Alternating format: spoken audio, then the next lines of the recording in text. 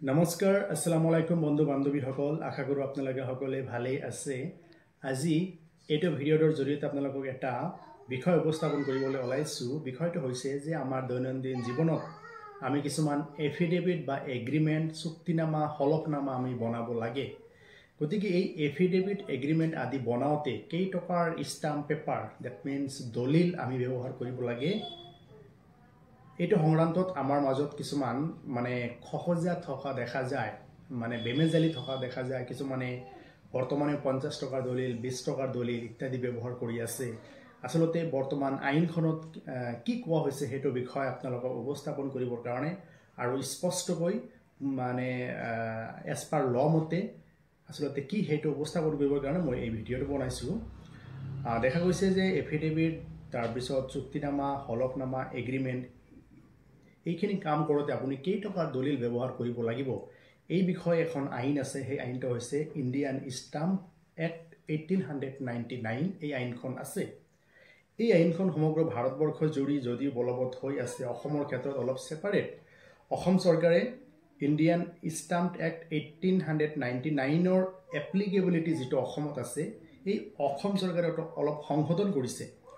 অসম চৰকাৰে the Indian Stamp Assam Amendment Act two thousand twenty one এই সংশোধনীৰ জৰিয়তে কিছুমান নিয়ম কৰিছে সাল সলনি কৰিছে আৰু এই সংশোধনী আইনখন ন এঘাৰ দুহেজাৰ একৈছ চনত অসমৰ মহামহিম ৰাজ্যপালে চহী কৰে। তেতিয়াৰ পৰাই অসমত ন ছেপ্টেম্বৰ দুহেজাৰ একৈছ তাৰিখৰ পৰা সমগ্ৰ অসম জুৰি এই সংশোধনী আইনখন বলবৎ হৈ আছে আৰু ইয়াৰ জৰিয়তে এফিডেভিট এগ্ৰিমেণ্টত কেইটকাৰ দলিল ব্যৱহাৰ কৰিব লাগিব ইয়াত উল্লেখ কৰা আছে। আপোনালোকক এতিয়া ক'বলৈ ওলাইছোঁ এফিডেভিট বা হলফনামা বা গহনা পত্ৰত আপুনি এশ টকাৰ দলিল ব্যৱহাৰ কৰিব লাগিব। ডিট অফ এগ্ৰিমেণ্ট তাৰমানে চুক্তিনামা ইয়াত আপুনি এশ টকাৰ দলিল ব্যৱহাৰ কৰিব লাগিব।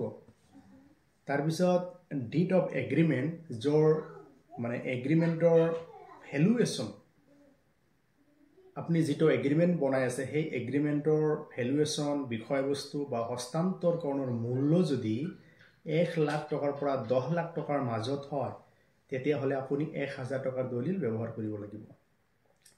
তাৰপিছত এগ্ৰিমেণ্টৰ বিষয়বস্তু বা ভেলুৱেশ্যন যদি দহ লাখৰ ওপৰত হয় তেতিয়াহ'লে আপুনি পাঁচ হাজাৰ টকাৰ দলিল ব্যৱহাৰ কৰিব লাগিব। তাৰপিছত ডেভেলপমেণ্ট এগ্ৰিমেণ্ট যদি আপুনি বনাব খুজিছে তেতিয়াহ'লে পাঁচ হাজাৰ টকাৰ দলিল ব্যৱহাৰ কৰিব লাগিব।